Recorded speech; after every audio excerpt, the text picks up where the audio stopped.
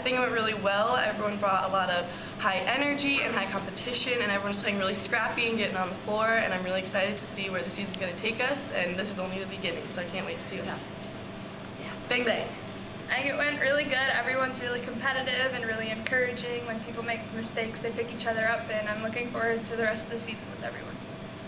I think it went really well. All the new um, people stepped up, filled in positions. It's going to be really fun to see all the potential that's going to come out, and I can't wait for the rest of the season.